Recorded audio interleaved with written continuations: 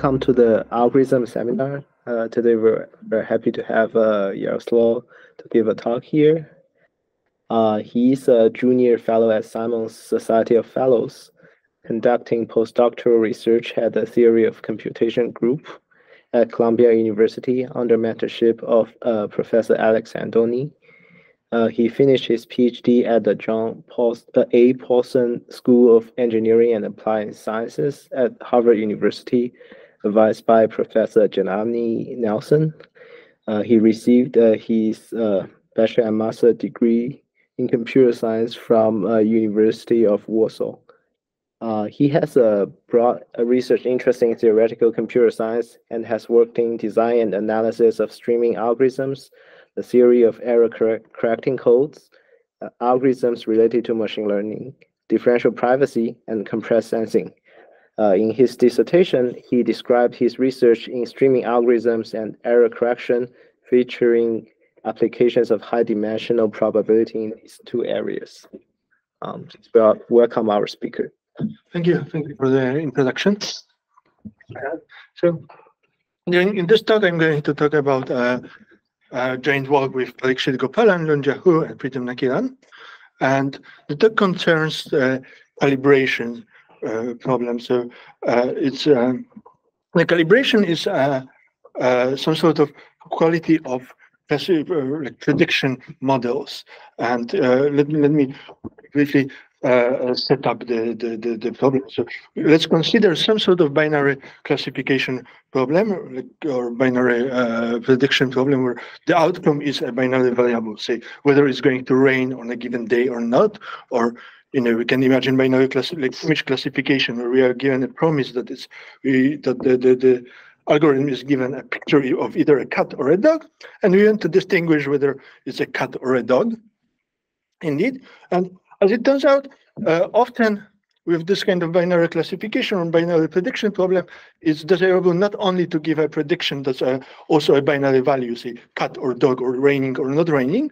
It might be uh, useful to have a prediction that's actually a number between, like in the range of zero uh, to one, which is, should somehow denote the probability or our belief that the output is one or the output is zero. And this might be as in the, the, the weather case, either because the, the actual uncertainty in the uh, in the, the, the feature prediction in the, the weather in future, or as in the uh, like image classification case, this uncertainty might might come from our model, our like not you know the data uh, or like uh, determines uh, whether it's a cat or a dog, but not necessarily our uh, classification algorithm. So it's often useful to have a, a, classification that's going to give you some number between zero and one. And intuitively, we should think of this number as a probability that our belief that the outcome is one or zero. But now the question is how we how do we mathematically uh, formulate this uh, this this notion that that this number actually corresponds to such a belief? And uh, this formulating is actually related to the notion of uh, calibration. So uh, calibration is a desired property of a classification algorithm that's not necessarily directly related to accuracy. So obviously, when we come up with a, a classification algorithm, our most desired quality is uh, accuracy. We want this algorithm to be as often correct as possible.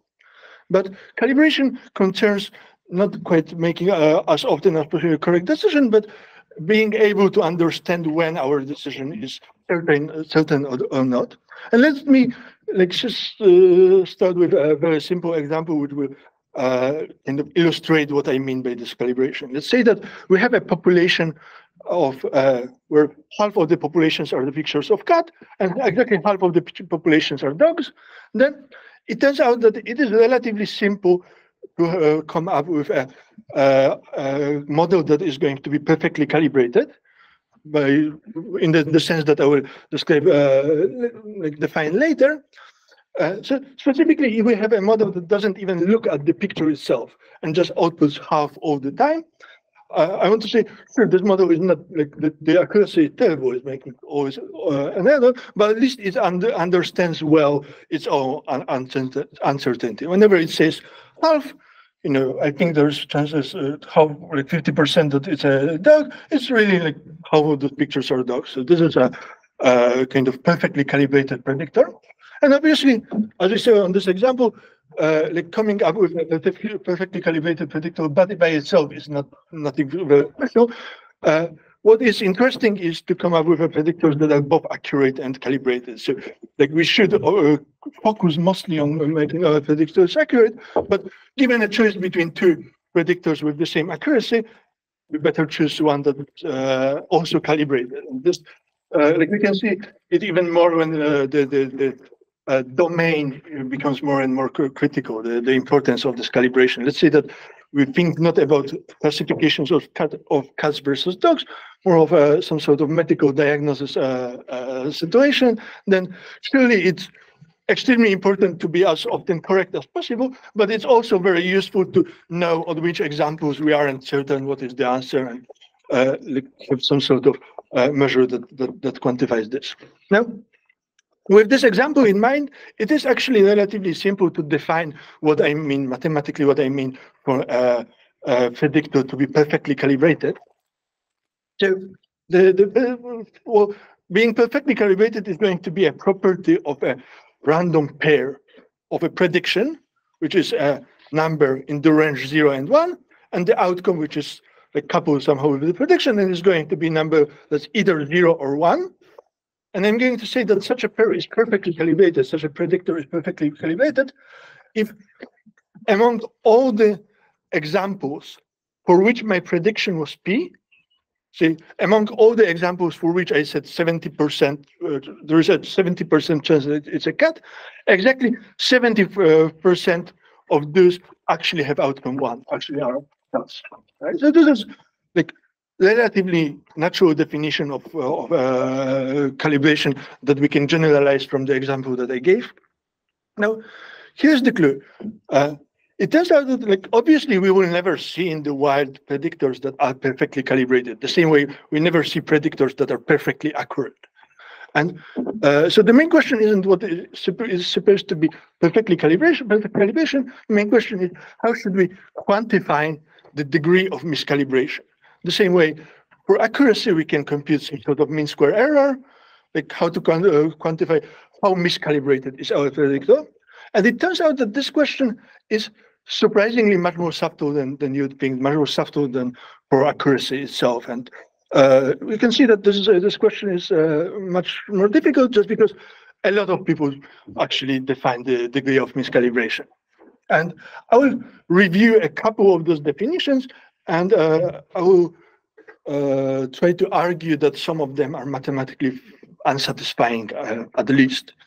So one of the most common definitions of the calibration error that's present in the literature is so-called expected calibration error. And it's a, this is something that's like well, it's some sort of permutation of all the symbols that appeared in the definition of the, the perfect calibration. So it might, you know, like if you look at it on a first glance, it looks like it might even make sense. So what's going to what's happening here is that if I have a predictor like pair of prediction and outcome, to measure to define the expected calibration error of this, I'm going to condition on say a given prediction P, calculate the expected outcome condition on this prediction. It's something. I subtract the, the actual prediction, take the absolute value of this and average of all possible predictions. Now, I claim that like, even though it looks like you know it has all the correct symbols, it is actually a, a rather unsatisfying definition. So let's go back to our first example of something that I claim to uh, that I want to have. I want to be perfectly calibrated. So we have a populations of cats and dogs, and I have a trivial, perfectly calibrated predictor, which always outputs half on the populations where half of the examples are cats, half are dogs. And even I, I measure this or calculate this expected calibration error of my perfectly calibrated predictors, everything works well. It is actually zero and is always going to be zero for perfectly calibrated predictor. This conditional expectation is just always equals p by, by definition, and this difference is zero. If we average it out, it's going to be zero. Now, let's look at this slight perturbation of this example. Let's say that for all the dogs, my predictor actually outputs half plus 10 to negative 300. And for all the cats, my predictor outputs of minus 10 to negative 300. This isn't like any meaningful physical, you know, noticeable difference. This is essentially the same predictor. You can tell what's happening 300 digits after the decimal point. But if you plug in now the slight perturbation to the definition of the expected calibration error, it's going to turn out that the expected calibration error of our new in, uh, physically indistinguishable predictor from the previous one is almost as bad as possible. It's almost half, right? Mm-hmm. Like if you, you know, if a, condition on the uh, prediction being half plus epsilon, all the outcomes are one. So in this case, the absolute difference is is uh, basically half. In the other case, absolute difference is basically half as well. I average over this. It's it's like the the, the ECE is, is is almost maximal. This is like this discontinuity in the prediction is just like very weird feature, and this doesn't doesn't make much sense. And it uh, like uh, it has you know the the consequence of this is that like this this the definition is very unworkable in practice. Like for example, how do I even estimate this expected calibration error from any finite sample? If my prediction is some sort of like continuous random variable that, for example, given from a neural net, net, then like more often than not, for every given prediction, I will have only one outcome of this. Like in this this uh, conditional expectation is going to be expectation of like average of one one object, and this this whole thing will will uh, somehow collapse. Now, the other notion that's uh, like that one way of trying to fix it and uh, quantity like a measure of calibration that's also very popular in the literature uh, essentially the thing that people do in, when they want to measure the calibration in, in practice is a so-called binning ECE or I'm going to call it this way and it is essentially like the first approximation is just saying okay let's round our prediction to the nearest you know multiple of 10 percent and try to calculate ECE. It's not quite that. Let me explain what it's doing exactly. But it's this order of uh, idea. So what's happening is uh, I plotted here on the, the, the plot uh, like a bunch of instantiations of my random variable py. So the dots here on the bottom line are uh, experiments where the outcome was zero. The dots on the top line are the experiments where the outcome was one. And you know, the photo it is to the right is, uh, you know, the the the, the, uh, the x-axis here denotes the prediction. So here I have like this this little dot, blue dot here denotes an experiment. The prediction was maybe 90%, and the outcome ended up being one. So given a bunch of uh, this kind of uh, like a sample of this form, the way I calculate this uh, binning ECE is for a given size of the like discretization of the prediction uh, interval, I look at all the all the buckets, like all the uh, all the experiments for which my prediction was say between zero and ten percent. Uh, in each in a bucket like this, I average all outcomes, and I average all the prediction. I take the difference between the like absolute difference uh, between this and sum of all possible buckets, basically, like while multiplying by the weight of a bucket or something like this. And so it just like bucket the, the range of the predictions, like the, the, the range of the predictions, in each bucket calculate average prediction, average outcome, take the absolute difference of this, add up over entire range of uh, queries. And it is a definition. It's something that you can actually compute. Once you have a, a model, you can actually estimate this from finite sample. It makes sense. But it is still, I want to claim, somewhat unsatisfying. First of all, it is still discontinuous. So if I fix a bucket size and like weird things happen near the near the bucket boundary, I like change my prediction by some epsilon, things uh, like fall in a different bucket, I might have a ECE, like binning ECE that jumps all the way by a bucket size or something. Now, so like it doesn't really solve the, this discontinuity problem. It uh, introduce a couple of other problems, like how to choose the bucket size and how the choice of the bucket size will impact the error. And there has been actual papers where you know they wanted to com uh, compare two different algorithm models, and it ended up that one is better calibrated with bigger bucket sizes, the other is better calibrated with smaller bucket sizes. It's unclear how to think of it. Um, and uh, from just kind of a theoretical perspective, you might ask why why this is like uh, you know this is a, like a specific algorithm, but it doesn't seem like a fundamentally like right way to measure calibration error. It's, it's just like kind of very arbitrary. Now, another uh, definition that has been uh, present in the literature is so-called smooth calibration error. And I gave a, like was a formula defining it, and it's a bit confusing. Uh, I will slightly explain it right now, and we'll go back to it later. But this is like, so uh, what, it, what, what this formula says, whenever I have a pair P and Y, let's look at uh, the Lipschitz function of a prediction, such that the correlation between this W of P and the residue of outcome minus prediction is as large as possible. And uh, like compute this co correlation and I claim that this is my calibration error. Now, it turns out that it is actually quite well behaved. Like, one thing that is easy to check is that whenever I have a perfectly calibrated predictor, then this smooth calibration error is actually equal to zero. Yes? The converse is also true, right? Sorry? The converse is also true? Yes, yes, yes. This is only for perfectly calibrated predictors. But uh, it's it takes a little bit, uh, like it's a little bit less obvious the, the, the, this direction is very obvious. If I have a perfectly calibrated predictor, then the smooth calibration error is equal to zero. Moreover, it turns out that it doesn't have the discontinuity issue. It's, it's behaving nicely, uh, but you know, like this definition by itself is a little bit contrived, and it's uh, also not clear like why this should be the grand ground truth notion of the calibration error.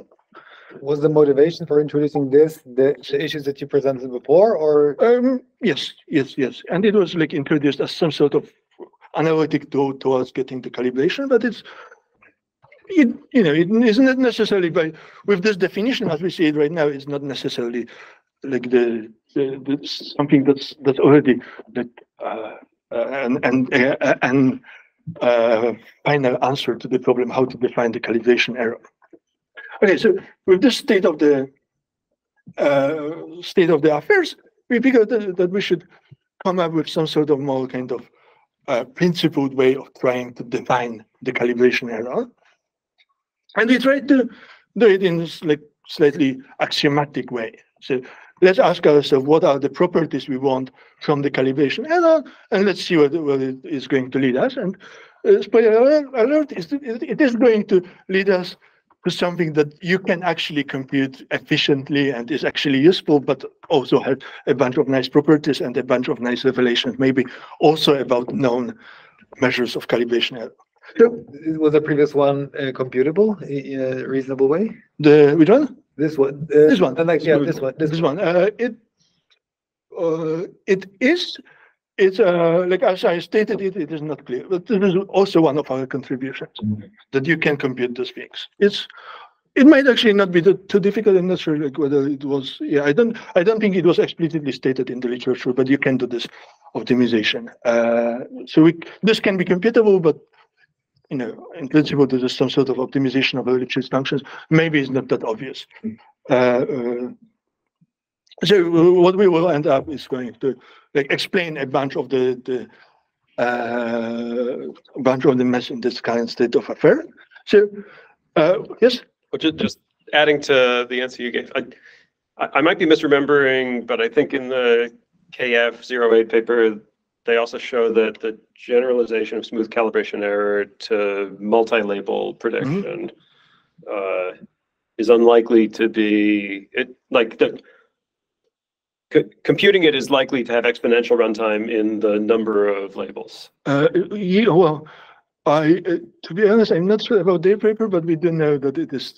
I don't know that this is true. Yes, like I, I have a lower bounds for this. Ah, okay. So, uh, but we are like this is something that we are currently working on, like how to actually face those things uh, in a way that's efficient in the multi-class setting like how to use this theory to, to uh, extend it to the multi-class setting and come up with some sort of relaxation maybe of the notion that, that you can compete with like number of samples that doesn't scale exponentially, but I want to be talking about this for now. It's like uh, I do believe that the multi-class setting is interesting, but you know, the first step is have uh, like good understanding of the binary binary case, and I I hope that we have a, a, a nice nice ideas for how to fix this. Uh, yeah, I don't know if it, it was proven in case zero one, but I have a, a lower bound now. So this, Uh, No, is it, because isn't the same convex program works for the multi-class setting? Guessing the value of W in each point and ensuring it's Lipschitz. Uh, well, the convex program will work. The problem is how many samples do you need in order for the uh, in order for the smooth calibration error of the empirical distribution to resemble anything that's uh, Ah, okay. smooth calibration error of the population distribution. Ah, that makes And if you don't sam- like if you don't sample exponentially many samples, you will always find a like uh, Lipschitz function that will you know serve that the calibration error is as large as possible because you will be able to fit it in in any way you want it. Ah, that makes perfect sense. So this is this is what, what's happening here. Uh, anyway, so uh, like we have those few, few notions. Someone will behave, but yeah, uh, we we try to to come up with uh, like some principled way of, of thinking of this. And here are uh, some basic properties that we want for our calibration error. And uh, the starting point is that uh, we want the calibration error to agree with us on what are perfectly calibrated predictors.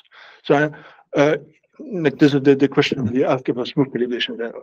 Uh, at the very least, whatever I define as the calibration error, it should be zero for all perfectly calibrated uh, predictors and only for the perfectly calibrated predictors. But as we saw in the examples of ECE, this isn't quite satisfying. We really would like to have some sort of robust, generally, like robust versions of those completeness and soundness properties. So specifically, if we have a predictor such that, you know, a small perturbation of it is perfectly calibrated, then better my measure of calibration error should be small. And dually, for soundness, whenever I am far from any perfectly calibrated predictor, I, I, I require my measure of the uh, calibration to be large. Or you can say the only reason for my uh, calibration error to be uh, small is that there is some perfectly calibrated predictor that's nearby. And with these two properties in hand, there's like very obvious, you know, if I just state those two properties, there's very obvious thing that it can do. You know, what is a function that's small for things that are far and uh, small for things that are close and large for things that are far is a distance, right? So I can say, okay, uh, my measure of calibration error is a distance to the calibration, which is, you know, given a pair p and y, I'm asking what is the closest random variable pw p, p tilde, such that the L1 distance between p and p tilde is as small as possible, but the per p tilde y is perfectly calibrated. Uh, So on our, you know, cats and uh, ducks example, like the slightly perturbed example is going, like the distance, the calibration is going to answer the, the correct ping, right? I can, you know, I can choose as p tilde the uh, constant function half, and this expected error is going to be, you know, expected absolute value of p minus p tilde, that is going to be always epsilon. So this is nice. This definition has is still not satisfying for quite a bit more subtle reason. Namely, everything that I was talking about before, uh, like every you know property measure, was actually a property of a distribution of a pair p and y. Right? If you want to calculate the mean square error accuracy or something like this, check whether it's perfectly calibrated. Those are all properties of the distribution of the pair p and y. Whereas the distance to calibration is property of the actual probability space on which this pair of random variable is defined. I'm asking about this the closest p tilde to p. You know, this is like a function defined on the probability space. It's it's, it's a bit of a mess. Uh, so I'm going to just proclaim that I don't like this. I want I don't understand the distinction. What, uh, can you describe, describe a little more what you mean by this? uh, So why, why is it? So I'm saying- the probability space here? Uh, so I'm saying that, uh, what does it mean here to ask about, you know, the random variable p tilde that's uh, uh, such that p tilde y is per p tilde y is perfectly calibrated, and the absolute value of p minus p tilde uh, is uh, as small as possible. Well, where does this random variable lives? It's it's a function from. Uh, uh, sorry, maybe Is that the case that you don't want to compare probabilities? You don't take the distance between P and P tilde? Is that the issue? If I want to, yes, uh, like, if I want to look at the distance between P and P tilde, they are like, I'm kind of already assuming that they are somehow coupled. So maybe the different way of uh, thinking of this is, like, let's imagine that, uh, like, let's imagine that uh, this P is really some sort of, I don't know, like neural network or something. So some function that maps features to uh, to the, the, the outcome. Mm-hmm. And I'm asking, okay, what, what, what is the closest F tilde that is perfectly calibrated? I'm asking, what is the, you know, find me a different function that maps the same features to outcomes. Mhm. And such that the difference between F and F tilde on the, with respect to the probability distribution that I have on the features is as small as possible. But this kind of like getting into the, the inner workings of how this predictor P works, like it maps some features to outcome is, is, I see. is kind of like unsatisfying because everything else, you know, you just draw, give me a distribution of, uh, uh, give me a distribution of the pair prediction outcome, I can, I can uh, tell it, uh, I can, uh, write the, the, the, the, like, calculate the, the, the probability. Mhm. So I hope that this answered the, the questions a bit, no? Yeah. Any other questions about it? I don't, so the, the reason I don't fully understand is it seems to me that if you just gave me a distribution over P and Y, Mhm. I could still compute this func, this measurement, couldn't I? So uh, Yes. let me jump in here. It, I, I might be anticipating an upcoming slide, but it, if we just allow P tilde to be a random variable in a larger sample space Mhm. that is correlated with P and Y, and then we take the infimum over joint distributions of the triple P tilde P and Y. Perfect. That's exactly what is, what. That's is your point, there. that's what you're going to do? Ah, that's what I thought So was that- happening yes. here. No, no, so what he was saying here was P tilde has to take a single value on each point of the sample space where P and Y are defined. It's not allowed to take a distribution of values. Ah, okay, But he relaxes this to take a distribution of values, as he will do on the next slide, then your question goes away, right? Ah, okay, yeah, that, that's what I thought. Perfect. Okay, Thank you, that- thank you. Yes, good, that- good, yeah. uh, Okay, okay. that was, that was already happening, but good. Now- Exactly. Now it. Yes, thanks, uh, thanks a lot. Uh, that's, that's great. So, uh, before like this is I'm going to be on the next slide, on the one after this. Okay. I just want to collect, uh, the three properties that I, that I, I mentioned uh, as my desirable properties. So, uh, I'm going to say that, uh, something is a, a a consistent calibration measure if, you know, it's, uh, upper and lower bounded by some, by the distance to calibration, maybe to some powers. So it has this robust completeness, robust soundness, but also depends only on the distribution of the pair and P and Y.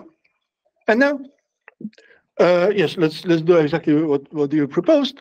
Like there is a very brutal way of making like this distance to calibration depend only on the distribution. Specifically, we can do like two different things, and I'm going to define two quantities that are like depend only on the distribution of P and Y in a very kind of uh, you know naive and brutal way. Take look at I, uh, I give you a distribution of the pair P and Y.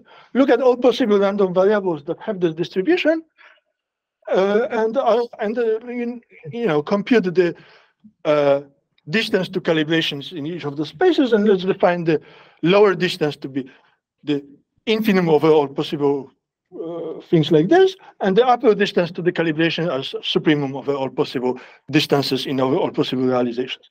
This is like rather abstract way uh, of doing this, but it at least gets rid of the problem that it is not defined on the the, now the things uh, depends only on the probability distribution of P and, of P and Y, and uh, we will see that both of those things, even though have been defined in a bit uh, random way, are actually tangible and they have a, a very nice uh, descriptions in terms of objects that we we are familiar with.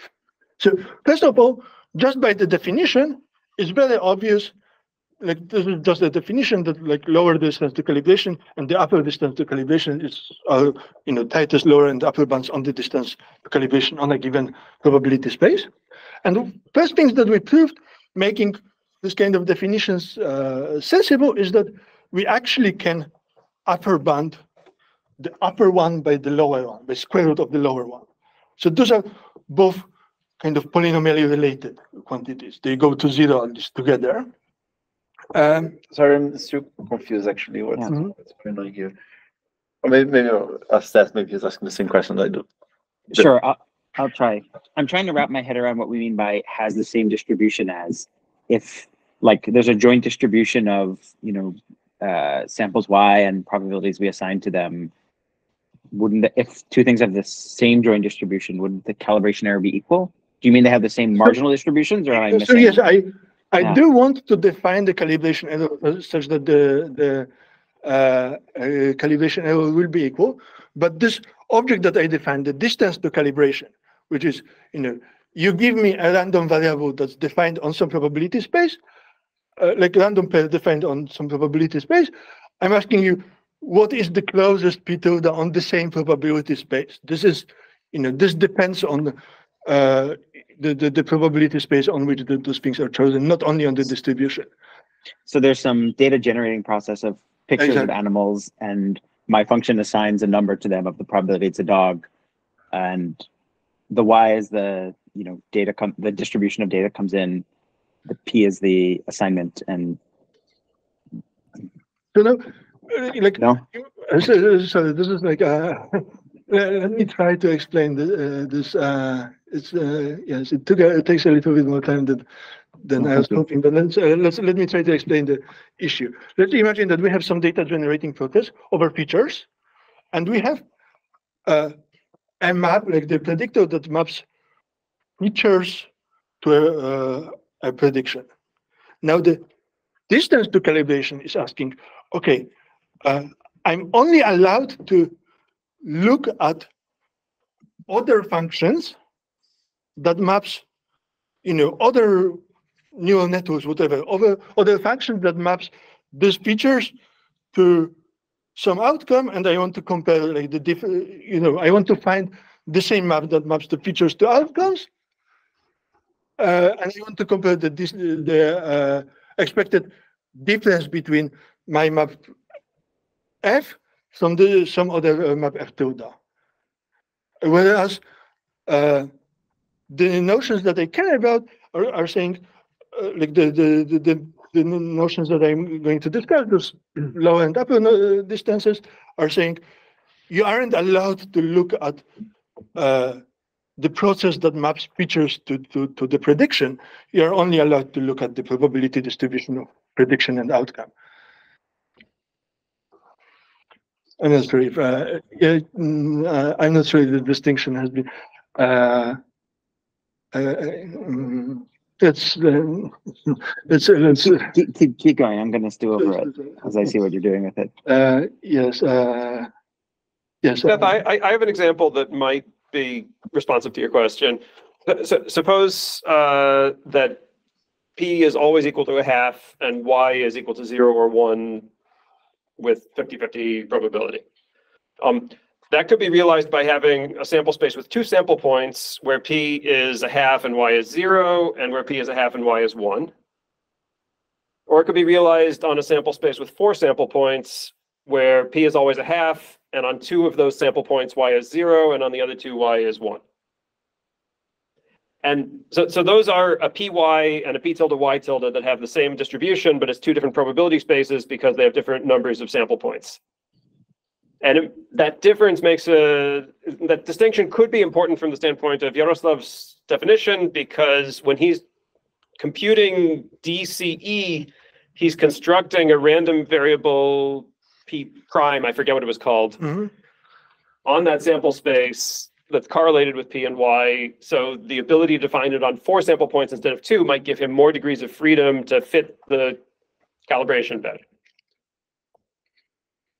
Yes, thank you. That's, that's, that's, So it's like projecting down to sort of just PY and their joint distribution is ignoring a lot of information, which gives us room to find other uh, other other functions which end up matching the same joint distribution. Something like this. uh, yes. It makes sense to me. Essentially, there's a joint, the joint, the uh, distribution of a triple that projects back to P and Y. It's been the same. That's the, the same intuition. Exactly. Uh, okay. Uh, yes. We, we, uh, like maybe some of the the, the, the things that will uh, uh, we will uh, we will uh, like some of the ways we will unwind this uh, lower and upper distance to the calibrations are going to be a little bit more intuitive than this. Like this is exactly why this distance to calibration is not the right thing to do, just because it's, it's confusing. Lower and upper distance, I promise you, are going to be slightly uh, better things, even though they are defined as some sort of like Gauss infimum and or supremum over like all the random variables that have the same distribution. Um, so yes, uh, like what it's going to turn out is that we can actually uh, equivalently express those new definitions in terms that are uh, uh, like a little bit more workable. And I will start with upper distance to calibration, which is actually the poorer behavior of of those two. So it turns out that the upper distance to calibration is actually equal to the closest perfectly calibrated predictor uh, kappa of py that can be or cl- closest perfectly calibrated predictor that can be obtained from the my predictor p by some sort of univariate post-processing. So like the distance to calibration told me, okay, find me arbitrary uh, predictor that's on the same probability space that has, uh, you know, is perfectly calibrated and disclosed. Here, I'm restricting to you that what you're, the only thing that you are allowed to do is apply some sort of univariate function to the prediction P. And I'm asking you, uh, what is the best univariate function that you can find kappa of P such that this pair kappa of Py is perfectly calibrated now. And you know, this distance between, you know, uh, average between P and kappa of P is as small as possible. Uh, and this, like, obviously is, uh, uh, obviously is like depends only on the distribution of P and Y. And moreover, it's always an upper bound for the distance to calibration, right? Like, you know, this is asking about a subset of possible perfectly calibrated predictor. Uh, so, and uh, our proof that I uh, alluded to earlier, this, uh, the upper distance to calibration is bounded by the square root of the lower one, essentially is saying that whenever you give me a, a coupling P and P tilde, such that P tilde is perfectly calibrated and you know P is my predictor and P is close to P tilde, you can find also a somewhat close predictor that's uh, obtained from P by composition with some function kappa. Univariate uh, composition based on function kappa. So if I know that I'm like epsilon close to a perfectly calibrated predictor, I'm square root epsilon close to a perfectly calibrated predictor that's obtained from P just by some sort of univariate composition. And yes, this is uh, something that we prove. So it's saying that uh, both the upper and lower distance to calibrations are uh, consistent calibration measures. Now, the other, the, the lower distance to calibrations is actually a bit more uh, interesting object that uh, I think you, you, you guys have alluded to earlier. And uh, to explain what it is, let me remind you uh, a notion of uh, construction of a Wasserstein distance. So, so whenever I have a metric space uh, XD, I can define a distance on all probability distributions uh, supported like uh, with values in this metric space, and it's going it's a so-called Wasserstein distance, which is asking you know the distance between two distributions on a metric space mu one and mu two is infimum over all possible couplings, such that the marginal distribution of x is mu one, marginal distribution of x prime is mu two, and for every coupling like this, I take the expectation of the distance of x and x prime. This is sometimes called earth mover distance as well. And uh, what what it turns out is that, like, if I choose a metric on the space of you know interval times zero one, so the space on which my pair of prediction outcome li- uh, lives, and the metric is you know, and each of the intervals take just a normal matrix that's induced on the interval and put those two intervals infinitely far away from each other, then this lower notion, lower distance to calibration is exactly Wasserstein distance of my probability distribution to the set of perfectly calibrated predictors, which is basically the same as saying, find me any coupling of P, P prime Y, such that Py has the distribution that is given, P prime Y is perfectly calibrated, and the distance between P and P prime is as small as possible. So uh, this is pretty, like, this is pretty clear that this is a Wasserstein distance. People have worked a lot on Wasserstein distance, and there is a lot of theory. Let's, uh, uh, let's try to use it. One thing that we know about Wasserstein distance is the so- so-called Kantorovich-Rubinstein duality. It's an instance of uh, like linear programming duality, in saying that we can equivalently state the Wasserstein distance, which is, a minimization problem, find the minimum coupling such that the expected distance is as close as possible, as a maximization problem. This Wasserstein distance between two probability distributions is the supremum over all possible Lipschitz functions W of the distance difference between the average of x of mu1 o- o- of w with respect to mu1 and average of w with respect to mu2. Yes, Sorry, uh, could you go back one slide? absolutely. Um.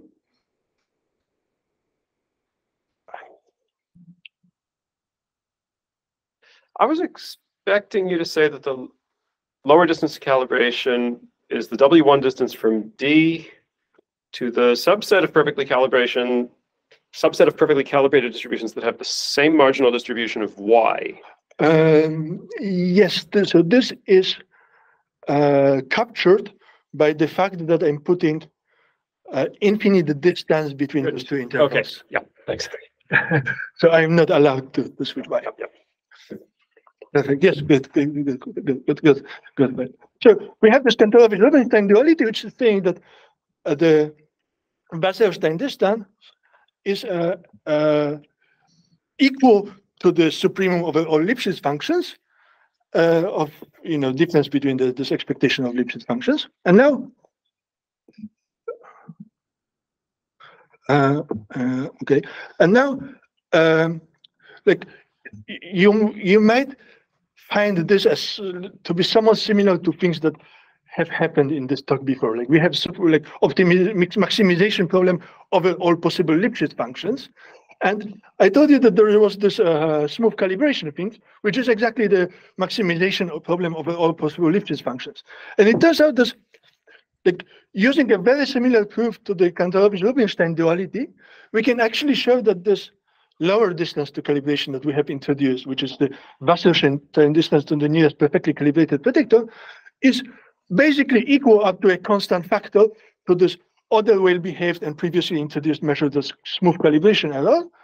Uh, and like the reason why it's well-behaved is uh, smooth calibrated, uh, uh, it's uh, well-behaved and it's, uh, you know, it captures well our notion of the distance to calibration is that it's, you know, just dual formulation of the Wasserstein distance to, to, to, to, to, to perfectly calibrated set, which arguably is a, a nat- natural thing to do.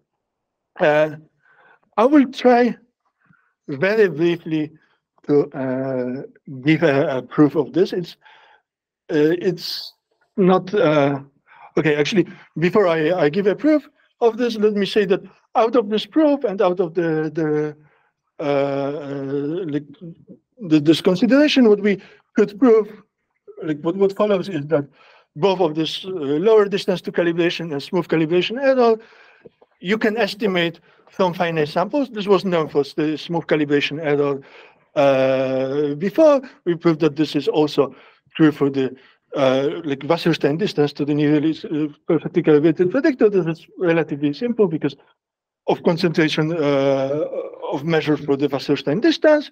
So the uh, Wasserstein, like this the lower distance to calibration is well approximated by is uh, the, the, the distance to calibration on a finite sample.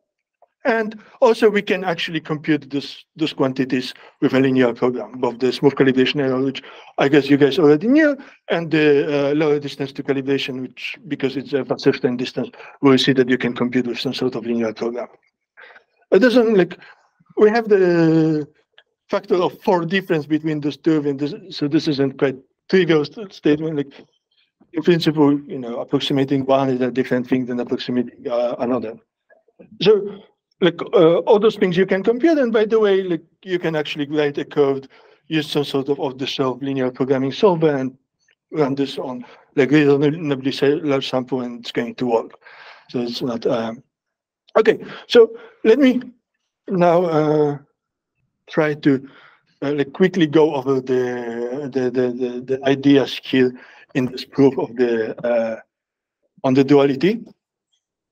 Uh, first, as usually is the case with those kind of duality statements, one inequality is very easy, the other is, is a strong duality and requires some work. So first of all, smooth calibration error is always upper bounded by this Wasserstein distance to the perfectly calibrated predictor. This is something that I have alluded to before when saying that the smooth calibration error is kind of continuous. And uh, the way you prove it is, you know, if you unwind all the definitions, you'll uh, see that we get back to the coupling that you mentioned, that if my uh, lower distance to calibration is small, it means that I have a coupling between yp and p prime, such that yp comes from my distribution, yp prime is perfectly calibrated, and the expectation of absolute value of p and uh, minus p prime is, is small.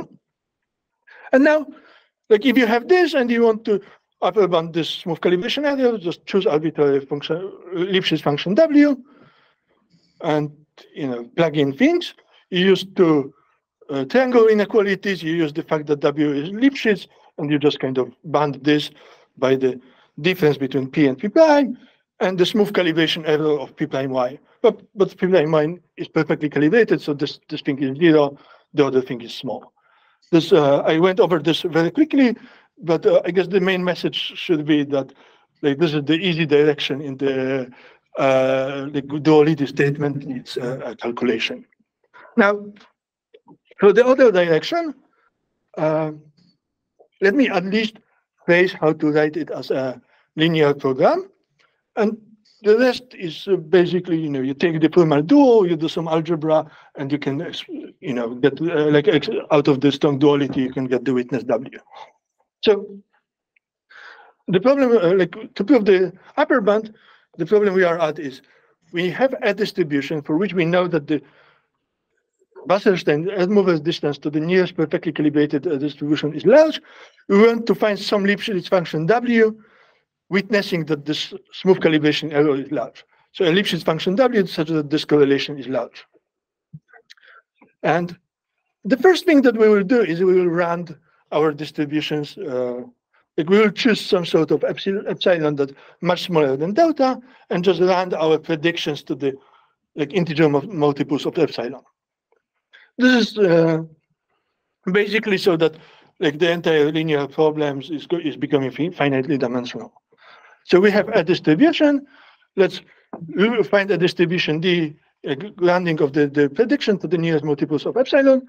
Note that this near distribution after rounding is close in the Wasserstein distance to our distribution that we have started from. Mm -hmm. So, you know, if we started with a promise that uh, we are we have a distribution that's far from perfectly calibrated. After rounding, we are also far from perfectly calibrated. Moreover, we are uh, let's let now p epsilon be the set of perfectly calibrated distribution that also has a prediction that uh, have discrete values. If I'm far from any perfectly calibrated distribution, I'm also far from uh, any perfectly calibrated distribution that has only like discrete uh, discrete outcomes of the, the, the, the probability. So the situation I'm in is I have some distribution that's supported only on integer multiples of epsilon, and I know that it's far from the nearest perfectly calibrated distribution that's also supported on uh, the uh, some multiples of epsilon. Uh, uh, so uh, what I want to say now is that uh, now, like all my distributions are actually expressed by a finite number of parameters, right? Like all of those live in a finity dimensional space. Uh, I can write a distribution as just a collection of numbers that are all non-negative and add up to zero, uh, add up to one. Uh, I want to say that in the space of all distributions, actually, a set of perfectly calibrated distributions is a polytope, is cut off by a bunch of hyperplanes. So this is like the, the, the only kind of non-trivial statement here. Uh, so this is just saying that my mu is a, is a probability distribution supported on this discrete set.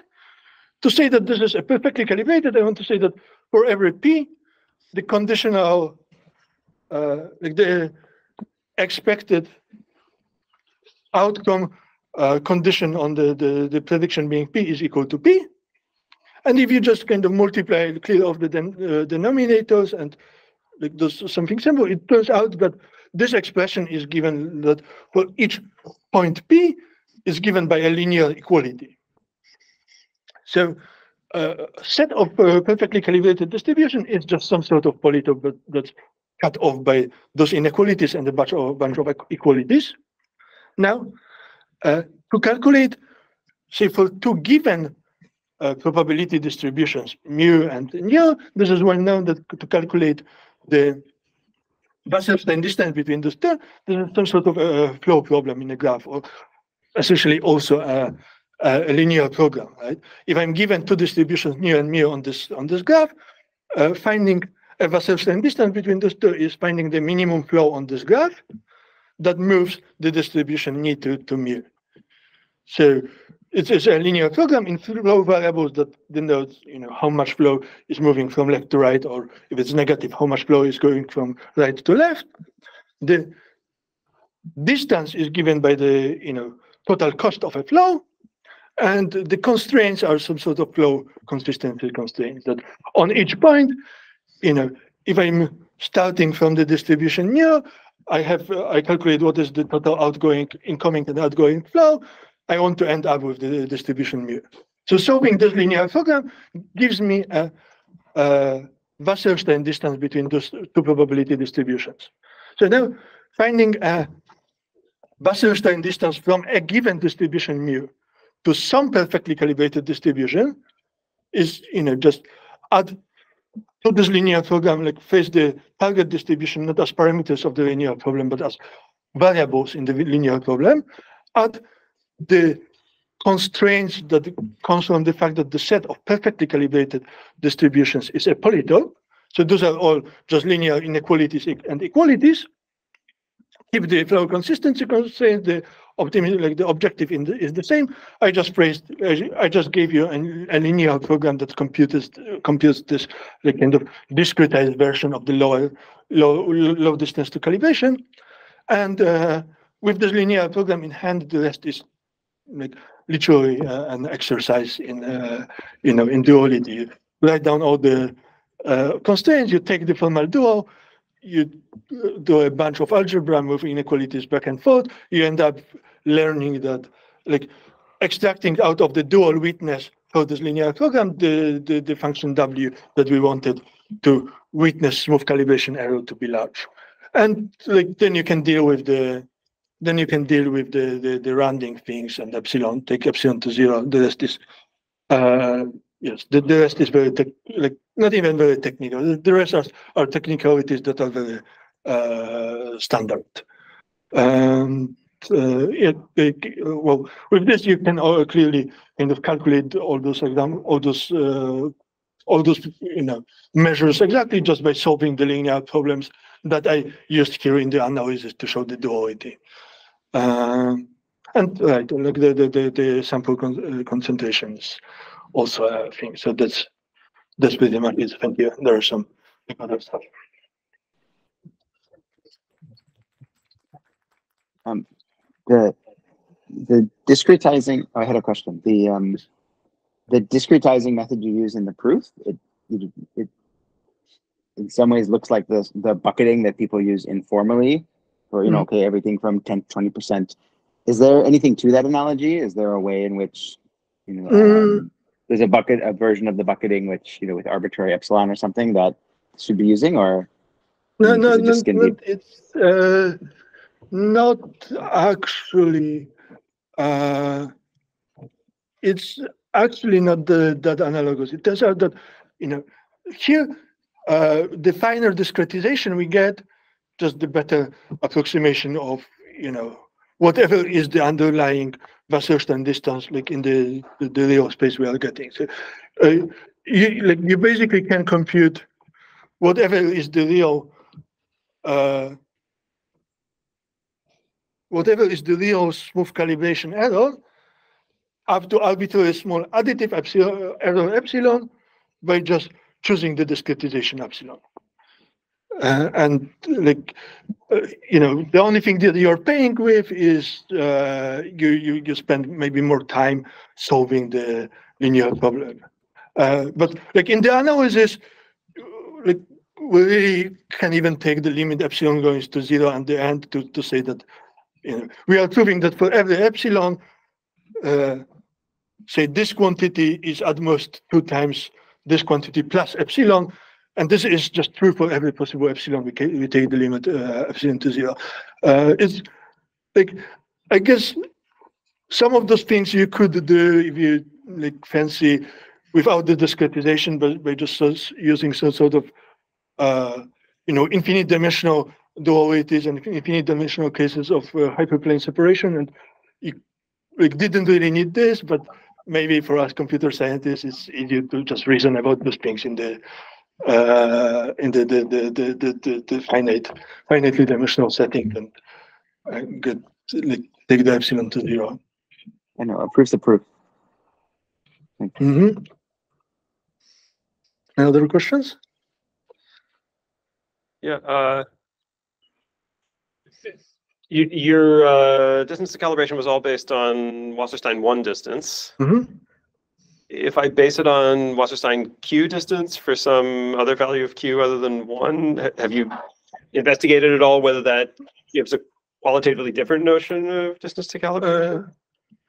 Uh, uh, so um, yes and no. Like here, our uh, definition of the uh, consistent calibration measure is saying, like, you know, this thing should be a polynomial approximation of the distance to calibration. So you have these exponents like alpha, beta. This is because like the lower and the upper are kind of distance to calibration are kind of polynomially related to begin with when you have this all with respect to L1 distance. And now it turns out that if you choose a different metric on the look, either a different metric on the sorry, uh, yes, if you choose the L2 like Wasserstein 2 distance or say for the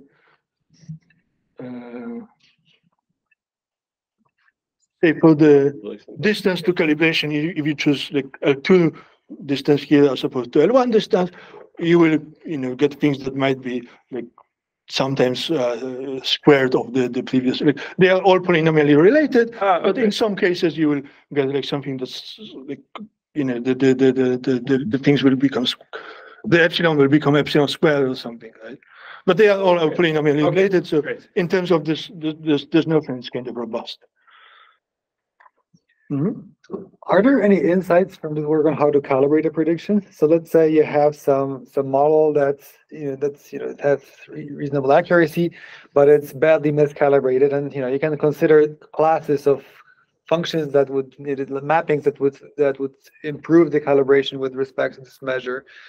Are there some, uh, insights? on? Uh, yes, uh, so this is a topic of a, uh paper that we are finishing now. That, uh, yes, yes, yes, perfect. Uh, we, we have investigated exactly this. Some insight how to improve the calibration and also some insight how to explain why some things are uh, well calibrated. And the upshot is that with this technology, basically you can ask, you can define uh, something like uh, how much you can improve the mean square error by post-composing with a, a Lipschitz function. And it turns out that this is going to be a consistent calibration measure. So if my thing is no, uh, not calibrated, like it's far from being uh, calibrated, there exists a Lipschitz function of the prediction such that I can post-compose with this Lipschitz function and improve the actual accuracy by a lot. Uh, and uh, like on the other hand, if I cannot improve the accuracy by a lot, this means that my like I am close to perfectly calibrated. So it on one hand it, it gives an insight into why some models like neural network, I'm not sure if it gives a little bit debatable, but you can try to make an argument that some models that are closed under the post-composition of a Lipschitz function should be often calibrated out of the box, even if they are trained only for accuracy. It's like the argument is a little bit slippery here because how do you know like the model expresses post-composition with Lipschitz function, but how do you know whether SGD will find it, right? But like you can try to make this kind of argument, but it's also like making very uh very specific point on like if you have a if you have a model that's not calibrated, you can find some explicitly find some post-composition with Lipschitz function that will both increase increase the accuracy and in oh sorry that will increase the accuracy. Uh, and basically that's it. Like you keep doing it, you're gaining accuracies and you're happy, and at the end, like you have a model for which you cannot improve the accuracy by post, uh, post composition, but now you have a model that has better accuracy and is also calibrated, which is which is fine. So this is this is in, in this paper, but it's something that we are like working on and planning to put an arXiv soon. Oh, thanks. Um, you, you may be aware of the literature on online calibration where, uh, you know, like I'm, I'm trying to predict the next label in a sequence, and in the end, I'm evaluated on um, Mhm. often like the expected calibration error of the I think- empirical distribution of predictions and labels that were generated by running the algorithm. So if we instead uh, evaluate based on the DCE, Mhm. uh, it- it- so, right, for, for the ECE objective, you know, like there's a gap between upper and lower bounds on what's known. There's an algorithm with exponent t to the two thirds, Mhm. where t is the number of samples. And there's a recent lower bound by Qiao and Valiant that's slightly better than the square root of t. Uh, But I'm wondering if one could hope to use this calibration measure and That, that, that Like- is, that is awesome. Uh, like, it, I, to be honest, I'm not all that aware. Like, I am aware that there is this, I believe that this KF paper was one in the, the lane of research that you're thinking about. Uh, yes, I think it would be, it would be worth, uh, like, getting deeper into it. I, I haven't, to be honest. Uh, yes, that, that sounds like a, a good, good point. That's- that's- Thank the speaker. Okay.